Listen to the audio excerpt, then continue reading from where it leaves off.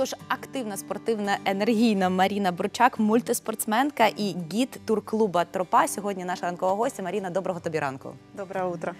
Маріна, весь твій Фейсбук у фотографіях спортивних і змагань. То ти на велосипеді, то ти у горах, так, то рафтінг. Ну просто вирує. Наразі ми будемо з тобою спілкуватися і будемо паралельно показувати в твої фотографії, аби глядач зрозумів, чим ти займаєшся. Е, Знаю, що у тебе освіта архітектора. Так, Да, архитектор градостроїтель. Так, е, скажи, будь ласка, хоча б один день ти працювала за спеціальністю, чи одразу ти пішла у спорт і у спортивний туризм? Э, В спорт пришла я очень поздно, после 20.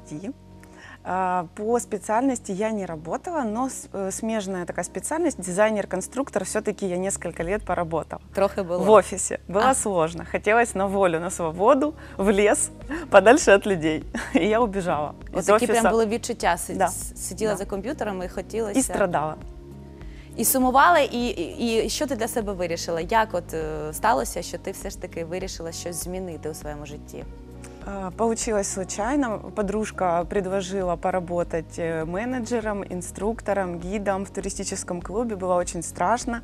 Э, Было страшно уходить из привычного офиса, с удобного рабочего места, все-таки в неизвестность. Но я решилась, решила для себя, что нужно в жизни что-то менять сейчас. И все-таки начала активный такой, более активный образ жизни и стала помогать людям тоже находить для себя активный отдых. І саме так розумію, що ця професія нова менеджера з туризму привела тебе до спорту, так до занять спортом. Сначала был спорт, а потом уже все-таки работа, связанная с отдыхом. Ти сказала, що пізно почала спорт після 20. е, Що це був за спорт і чому пізно, на твою думку? Ну, это был, конечно же, любительский спорт, это был велосипед. Очень хотелось э, участвовать в велосипедных соревнованиях, быть быстрой, сильной, выносливой, но у меня не было велосипеда. И в- только в тот момент, когда я смогла заработать на свой собственный Ага. велосипед, я смогла его себе купить и смогла попробовать себя в спортивных э, соревнованиях. Не- Ну, в нашей, в нашей области, вот буквально в черте города. Ну, е, бачили е, і бачила на фото, що ти та- та і велосипед, так, і рафтинг, я вже казала багато чого. Е, Все ж таки, що для себе обираєш? Е, В чому ти себе почуваєш комфортніше, що тебе драйвить, скажімо так? Э, Я не- не решила не делать акцент на каком-то отдельном виде спорта. Я выбрала для себя приключенческие мультигонки, которые объединяют в себе абсолютно все виды активности. И байдарку, и бег, и велосипед, и спортивное ориентирование, и какие-то дополнительные зимние виды спорта, как лыжи, либо лыжное ориентирование, коньки. То есть микс из всех этих видов активностей. Це все за один раз проходить чи як? Э, Дистанция длинная обычно на таких соревнованиях, и либо 12, либо 24 часа, либо двое суток, может быть даже трое. Поэтому за это время успевает э, произойти большая смена этих видов деятельности. И за такую гонку можно ис- поп- и- испробовать себя, испытать во, все, во всех видах спорта, понемногу. Наразі розкажи, будь ласка, ти ще у любительському спорті чи вже у професійному, чого досягла, так і про що мрієш саме у спорті для себе? Ну, очень сложно э, провести такую четкую черту между любительским и профессиональным спортом, потому что все-таки профессиональный спорт – это когда ты зарабатываешь деньги, когда ты за, св- за, за свою работу, да, за свои тренировки, за свое выступление тебе платят деньги. В любом случае, когда тебе зарплату не платят, это любительский спорт. Поэтому А, тобто ти так для себе розмежовуєш? Конечно, ну это так, общепринятые правила. Поэтому можно назвать весь нас, наш спорт любительским. Потому что мы все получаем от этого удовольствие и тратим деньги. Ну так. А яка все-таки мрія на цей тоді е, спорт е, саме для себе, на майбутнє? Яку сходинку ще хочеш підкорити? А, Моя мечта очень близко. Уже в середине июля э, сборная команда Украины из Днепра и Киева мультиспортивная. Мы поедем на э, очень сложную трехсуточную гонку в Польшу и будем там э, представлять Украину. Го- Гонка действительно такая будет э, динамичная, будет сложная. Э, Очень много команд зарегистрировано со всего мира, и нам нужно выступить там хорошо. Тобто троє суток, так? Підряд, Троє що ви суток будете там підряд. робити? Мы будем и на велосипеде ездить, и грести, и бежать, и я так думаю, что, возможно, с какими-то даже наборами высоты, то есть, возможно, это будет какая-то горная местность. Я еще, честно говоря, даже не знаю, что это за местность. И обязательно будет спортивное ориентирование, и нужно выступать в команде, где три парня и одна девушка. Это сложно, но я думаю, что мы справимся. А чому це складно? ну, Це потому ж что підтримка, три чоловіка і ти одна. ну, девушка всегда слабее, чем парень. А. Нужно быть э, очень мощной, сильной, выносливой, чтобы успевать хотя бы за парнями, которые ведут тебя вперед. Три доби будуть тривати змагання.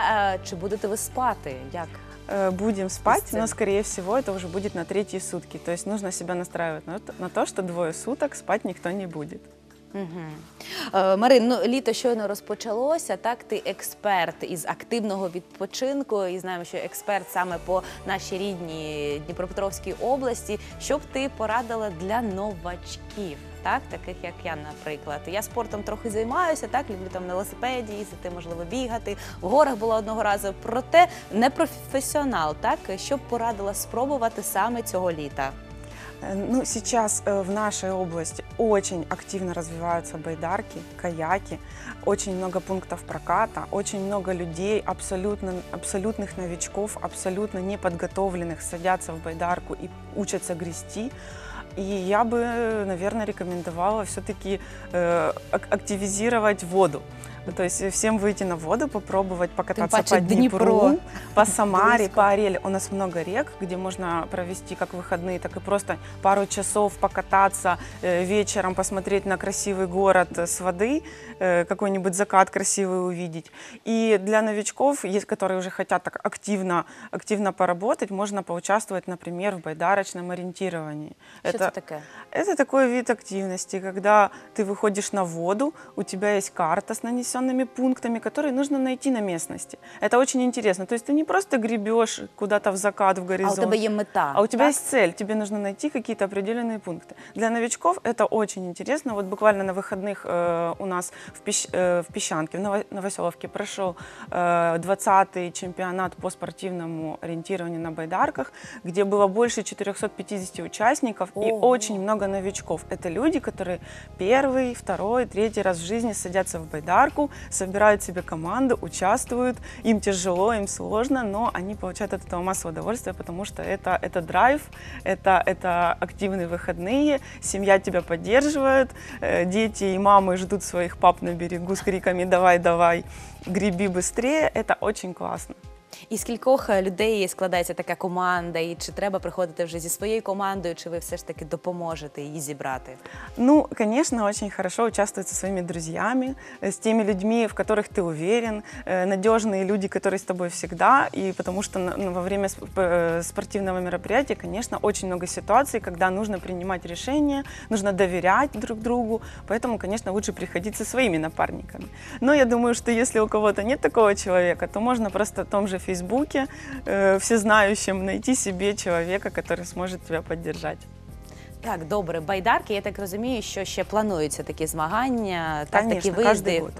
е, к- кожні вихідні, так? Э, Нет, каждый год такое крупное Ага. мероприятие, но каждые выходные можно поучаствовать э, вот в таких тренировках. Каждые выходные можно поучаствовать э, в нашем городе в тренировках по спортивному ориентированию. Причем есть тренировки, которые проходят просто в черте города. То есть не нужно никуда выезжать. Это серия «Зеленый стадион». Можно после, просто после работы, взяв кроссовки и компас, побегать по парку, побегать по какой-нибудь лесополосе, по, ну, по зеленой зоне, поориентироваться, потренироваться, пообщаться с профессиональными тренерами. Угу. До речі, зараз бачимо фотографії, як е, відбувається цей такий активний відпочинок. Е, Марін, зрозуміла, е, байдарки це номер один, що ти рекомендуєш. Що далі? Спортивное ориентование Спортивне орієнтування. Так, е, що ще? Обязательно велосипед. Куда без велосипеда? Сейчас тоже это очень модно, это очень хорошо, когда, э, когда все даже на работу пытаются сейчас добраться на велосипеде, не стоять в пробке, а все-таки как-то побыстрее добраться домой, либо домой, либо на работу. Незважаючи на те, так що нормальних доріг для велосипедистів ще нема, все ж таки Для наші нас это люди не молодці. преграда. Да, мы найдем короткий путь, как быстрее добраться на работу, не э, по- используя общественный общественный транспорт. Э, Тоже, кто хочет немножко больше активности, можно поучаствовать в соревнованиях кросс-кантри, либо в шоссейных гонках. Э, Это номер три, велосипед. И, конечно же, бег. Бегают сейчас все. Бегают по утрам, по вечерам, тоннельная балка вся в тренирующихся, кто-то готовится к триатлону, кто-то к трейлу, кто-то к шоссейному забегу, кто-то снова ждет э, марафон в Днепре, который у нас каждый год сейчас проходит там, в сентябре. То есть э, пробежка – это тоже самое простое, что может себе любой позволить. Кроссовки і побіжав вперед. Ну так, ну наразі ти сказала про марафон. Е, Постійно якісь марафони, тріатлони у нас відбуваються так е, у нашому місті, і це дійсно стало дуже. Популярним і дуже, як ти ск- е, дуже модним, як ти Модно. сказала. Так чому взагалі на твою думку такі тенденції? Мені здається, що такі тенденції десь приблизно з'явилися 5 років тому, так Да, у где-то нашому так. місті. Чому така це світова тенденція? Чи це наші дніпровці такі активні? Як думаєш? Я не могу сказать по поводу всего мира, но я м, чувствую, я вижу, что стало модно быть здоровым, стало модно быть красивым, спортивным, не жаловаться на свою жизнь, не рассказывать, как у тебя все плохо, какая у тебя маленькая зарплата и как ты устаешь дома, как тебя пилит жена, а наоборот, всем показывать, смотрите, я пробежал 10 километров, несмотря на то, что работаю там с 9 до 6 в офисе, и у меня нет на это времени. То есть люди стали друг друга мотивировать. Конечно же, Facebook, Instagram этому очень сильно помогают, потому что все хотят показать, какой он молодец, какой он красавчик, какие у него э, накачанные ноги, какие у него бицухи. То есть, э, скажем так, мотивация показать себя лучше перед кем-то другим тоже работает. Ну так, і проте я вважаю, що потрібно, щоб це було не як показуха, так, а все ж таки, щоб це було для власного і здоров'я, як ти сказала правильно, і все ж таки для власного задоволення, так? Конечно, люди получают удовольствие, когда преодолевают себя, преодолевают дистанцию. А если они еще при этом кого-то смогут обогнать, то они себя чувствуют, конечно, маленькими героями. Е, Щодо е, грошей, так ти сказала, що е, маленькі зарплати неважливо, що все можливо. Я так розумію, що всі ці е, поїздки, так весь цей спорт, про який ти говорила, це все досить такі невеликі кошти. Так, і кожен може, може собі е, таки дозволити, скажімо так, принаймні по нашій Дніпровській області. Я думаю, что если брать в среднем, вот в среднестатистического человека, то при большом желании э, не тратят деньги на какие-то вкусняшки, на какие-то непонятные э, На алкогольные удовольствия, напои, на алкоголь и на например. сигареты. Можно сэкономить эти деньги и использовать их для участия в каком-нибудь полумарафоне, для поездки в какие-нибудь Карпаты и участия там в, в забеге, в интересном на природе. Абсолютно спокойно каждый может сэкономить какую-нибудь тысяч гри- тысячу гривен и использовать их с- для, использовать для здоровья. Сто відсотків. Також бачили фотографії і в горах ти була, так, і Карпати щойно. Е, Що в Карпатах відбувається? Я так розумію, що також ви часто туди виїжджаєте, так? Сейчас у нас тоже бум э, трейлового бега в Украине. Все хотят э, бежать в горах, э, все хотят... Це ж дуже складно. В Это очень сложно. бігти. Это очень сложно, это очень красиво, потому что ты, помимо того, что ты бежишь, тебе тяжело, но ты же, ты же и видишь прекрасные виды родных гор, которые вдохновляют, которые к себе привлекают, и люди возвращаются там по, по 5, по 6 раз в год, возвращаются в Карпаты, чтобы пробежать тот же трейл Карпатия, либо Черногорский марафон. Соревнований очень много, и людей вовлечено в это очень много. Есть Это становится популярным из года в год, и количество участников растет от сотни до 500 человек. Чого б ти б е, запропонувала розпочати там, так і тим, хто тільки мріє, із чого, я не знаю, можливо, із якихось навіть навя- напевно не змагань. Змагання це зарано, так е, що перше слід відвідати, аби себе трохи у фізичну форму. Ну, даже не, э, не відвідати, а первое задание – это ч- самодисциплина. То есть человек должен соблюдать режим сна, режим питания, э, режим работы, То есть не, не переутруждать себя. И, конечно же, подключать физическую активность. То есть сначала дисциплина, а потом уже э, какие-то серьезные тренировки, подготовка к соревнованиям. То есть сначала нужно себя настроить на такой график поспал, поел, поработал, потренировался. Вот когда будет такая дисциплина, уже можно выходить на какой-то более серьезный уровень. І потім все буде вдаватися. Так, знаю, що спорт дійсно е, саме дисциплює.